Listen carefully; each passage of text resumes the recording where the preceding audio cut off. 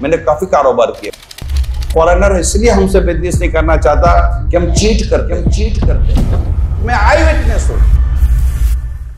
I was businessman मैंने काफ़ी कारोबार किया। और मैंने जो कारोबार के अंदर जो सबसे बड़ा प्रॉब्लम देखा मेरी अपनी मुल्क के अंदर I am very much Pakistani मुझे तकलीफ़ होती है जब मेरे मुल्क के ताल्लुक से कोई ऐसे कमेंट पास करता है। मैं फॉरेनर से बिज़नेस करता था।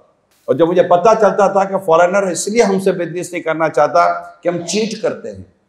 हम बेमानी करते हैं, हम कमांडमेंट पूरा नहीं करते, हम कटा फटा माल दे देते हैं। डील क्या होती है, निकलता क्या है? ये हमारे लिए था। अच्छा ये मैं आई विटनेस हूँ। मेरा तो बिज़नेस था ना, मैं तो आई विटनेस हूँ। लेकिन चूँकि मैं दावत इस्लामी से बिलोंग करता था तो इसलिए मेरा अपना टाइप ऑफ़ बिज़नेस इस तरह का नहीं था। क्योंकि पता होता था कि ये चूँकि मजहबी इस्लाम और दीन को समझने वाला आदमी है, ये हमसे चीट नहीं करता। औरों के साथ बिज़नेस नहीं होता था। मुझे पता है कि हमारा बिज़नेस कैसे मूव कर गया। मुझे पता है कि हमारी जॉब कैसे मूव कर गई।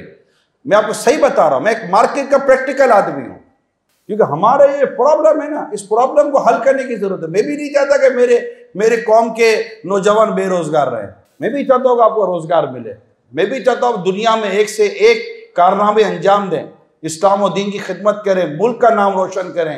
आप अपने लिए, अपने माँ बाप के लिए ऐसा काम करें कि जो आपके लिए बाईस फ़ख्र बन जाए। मगर उसके लिए सच्चाई बहुत ज़रूरी है। अमानत बहुत ज़रूरी है। मेहनत बहुत ज़रूरी है। पेशेंट बहुत ज़रूरी है। बर्दाश्त और सब्र। हम तो कहते हैं कि यहाँ बीज वो यहाँ पौधा निकले, दरख्त बन जाए, दो दिन के बाद में फल देना शुरू कर दे। प्रैक्टिकल नहीं है।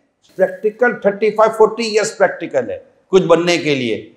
और उसके लिए बेसिक ईमानदारी चाहिए। ये दो मेन चीज़ें हैं, सच्चाई और अमानत। अगर आज हमारी सोसाइटी के अंदर सच्चाई और अमानत आ जाए, हमारी मीशत बेहतर हो जाए।